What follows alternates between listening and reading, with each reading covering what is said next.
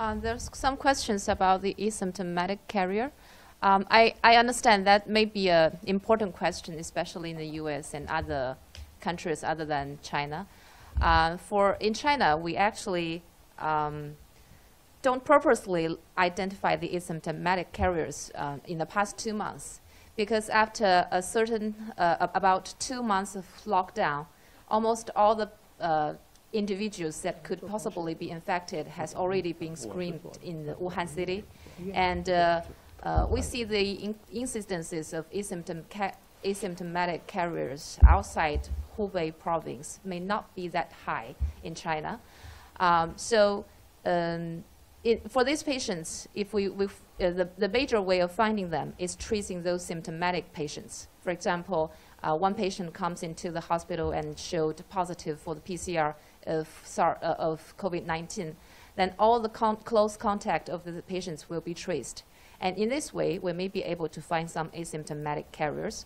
And if we find them, these patients will be sent to the cabin hospital uh, for observations and quarantine, and also observe if their symptoms will be getting worse uh, in the next few days.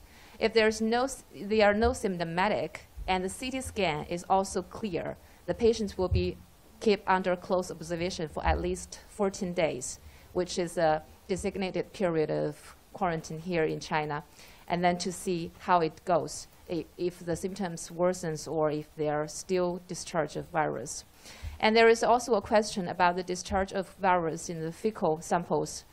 Um, that is that is actually um, uh, able to be explained because um, in many of the coronaviruses, the fecal discharge of virus, viral uh, parts of the virus can be observed. Even the patients have been recovered uh, from the disease itself.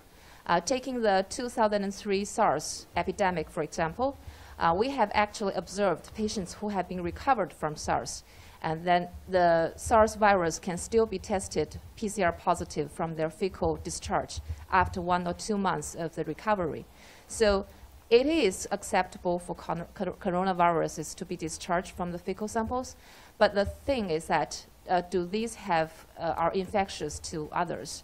Uh, one possibility, uh, one thing is uh, the PCR testing right now are still under discussion, and uh, different sample kits may provide different may, may have different sensitivities and specificities for testing. So the results of the PCR testing is also should also also be discussed.